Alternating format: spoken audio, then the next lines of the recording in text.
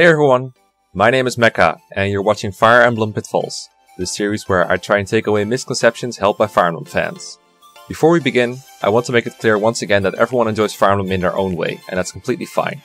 I'm not here to tell anyone they're playing the game wrong, do whatever you like, but if you want to get a little better at it, perhaps because you want to tackle harder games or higher difficulties, then this is just for you. I'm also aiming to take away common inhibitions, things people worry about too much when playing these games. An example of such a thing is experience distribution. People worry about this a lot, and end up shooting themselves in the foot over it quite a bit. I'm not sure what to pin this on exactly, it could be any combination of the following factors. Number 1. A fear of getting stuck.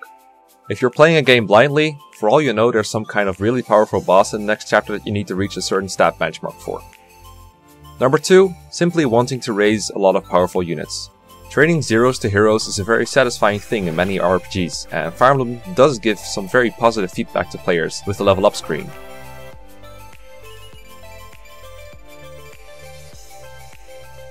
Number 3. The idea that hard work automatically means big reward.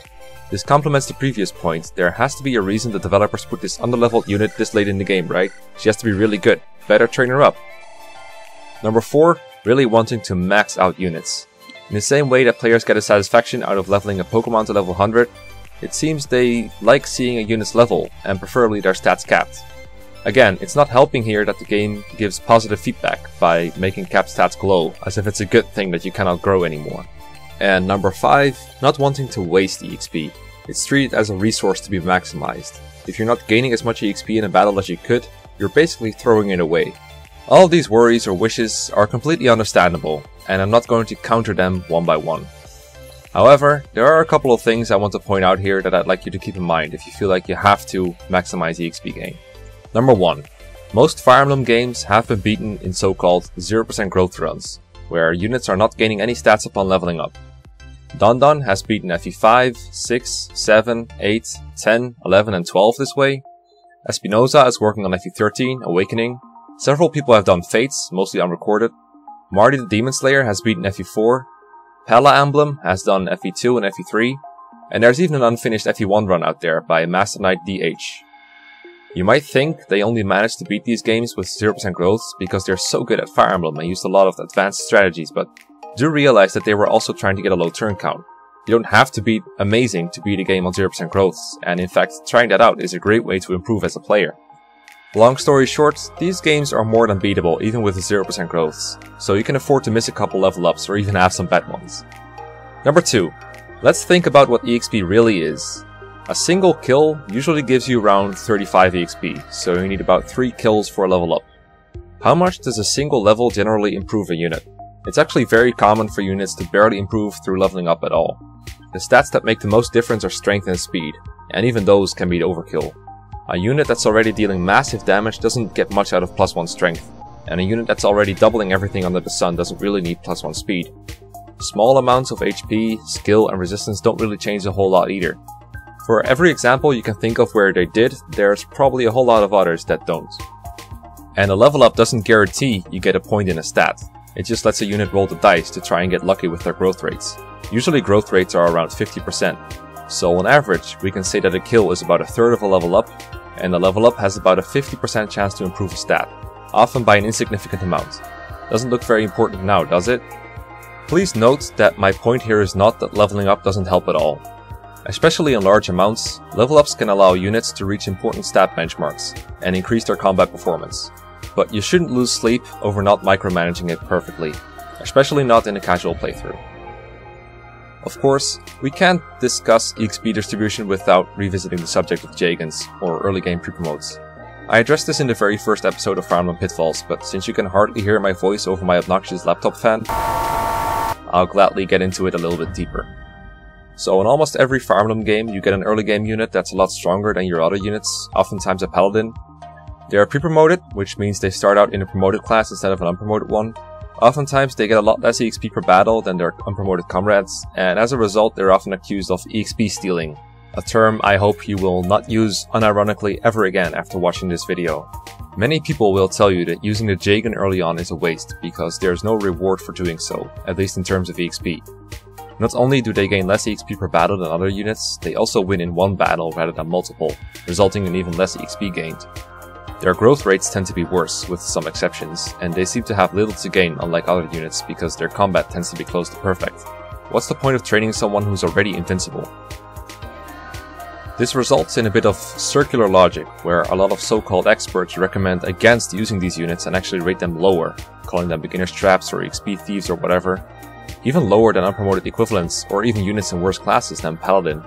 Now let me make this perfectly clear. I understand wanting to raise your unpromoted units, considering the points at the start of this video, and I don't recommend anyone tries to solo entire chapters with Marcus or anything on their first playthrough. But the idea that a unit is somehow worse because they start out pre-promoted is absolute hogwash. And to prove that to you, I'm going to do an experiment with you to let you see them in a new light. Let's say I'm going through FE8 with a team of 6 units. Eirika the Lord, Artur the Monk, Gilliam the Knight, Vanessa the Pegasus Knight, Joshua the Myrmidon, and one final unit. This final unit can either be Franz the Unpromoted Cavalier, or Seth the pre-promoted Paladin. Seth starts out a lot stronger than Franz, but once Franz gets to say level 15 and then promotes the Paladin himself, then his stats will be equal to Seth's at base. This is not exactly how it goes in vanilla FE8, but for the sake of the argument, bear with me. So now I'm going to try and find out whether the team is better off with Seth or Franz in there. Well, with my whole team at base, obviously the team with Seth is a lot stronger. After all, Seth's stats blow Franz's out of the water at this point, you might contest that this is unfair since Franz hasn't had any time to grow yet, but a lot of people neglect that to properly see how useful a unit is, you shouldn't only rate their final results, but their performance throughout the entire game, which includes the very start. Until Franz catches up to Seth, Team Seth will be superior in every way. Only when Franz hits level 15 and gets his Knight Crest will he be equal to Seth, and this is assuming Seth hasn't gotten any level ups himself, to widen the gap a little more. And contrary to what you might think, Seth isn't stealing any XP from the other units in this setup. As long as he doesn't take more kills than Franz would have taken in his place, Vanessa and Franz are getting just as much as they would otherwise. Take the theoretical pie of XP that you're dividing equally across your units and give one sixth to every unit. Doesn't make a difference to your other units whether the last piece goes to Seth or Franz. The cool thing about Seth is that he doesn't even need to take the piece of the EXP pie for himself. He's so good at base level that he can afford to maybe only take half of that piece and give the other half to someone who needs it more. This is an extra option that the army with Seth has that the one with Franz does not have, since Franz needs his whole piece of the pie in order to get to promotion as soon as possible. And while you don't have to actively look for opportunities to kill things with Seth, you don't have to leave his amazing stats and class unused. He can be used to rescue drop people with his 8 movement or function as an emergency delete button when things go badly. What's more, Seth as a pre-promote does not need to use a Knight Crest, while Franz does. So while Team Seth can give the first Knight Crest to Gilliam instead, Team Franz has two people who really want that Knight Crest, but only one who can get it. Or if there's no one who needs the Knight Crest, it can be sold for 5000 gold. The only thing Seth's low XP gain affects negatively is his own speed of improvement, but that doesn't change the fact that he's far ahead of the pack to begin with. The fact that he grows slowly is already shown by the fact that he's gained less level ups when given an equal number of kills. But I will admit, at some point Franz will have caught up to Seth and they will be equal.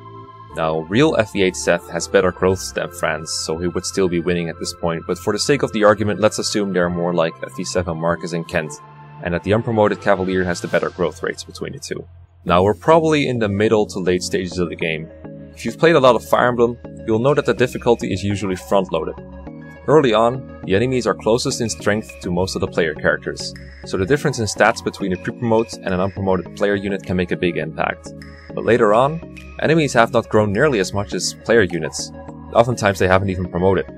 The player has also gotten his hands on more powerful weapons such as Killer, Silver, Slayer, or even legendary weapons. So even if, at this point, the rookie has surpassed the veteran, the tiny statistical edge they'll have built up will amount to basically nothing, and the Jagen will remain useful. This is compounded by the fact that pre-promotes usually have better weapon ranks than unpromoted units all around. In FE7, for example, it takes a while before Kent can even use the Silver Lance, while Marcus can use it at base, and Kent's sword and axe rank will never be as good as Marcus's. So far, what I've said mostly applies to the Jagens that are statistically strong throughout the game, FE7 Marcus, FE8 Seth, and FE9 Titania. These are oftentimes referred to as Oifeys. A little bit of an odd term, since the unit they're named after, Oifey, is nearly as dominant as they are. Don't get me wrong, FE4 Oifey is a good unit, but not because his growths are super good. Just like the other paladins, it's actually his stellar base stats, class, and weapon versatility that allow him to keep up with the likes of Seliph and Ares.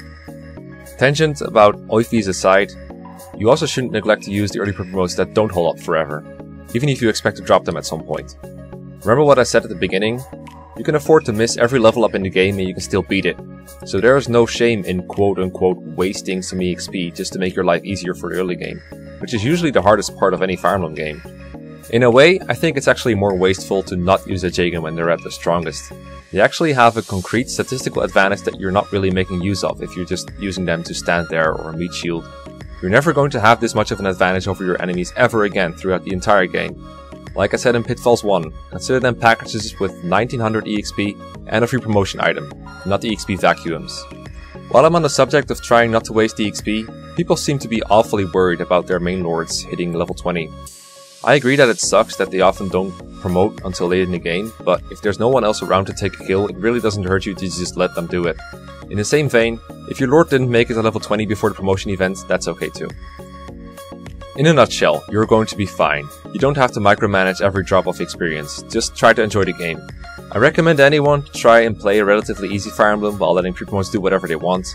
Uh, try and see if you can beat the game without really raising anyone, or try doing that 0% growth run. I promise it will be fun, and probably easier than whatever you were doing before. Thank you so much for watching, and I'll see you next time.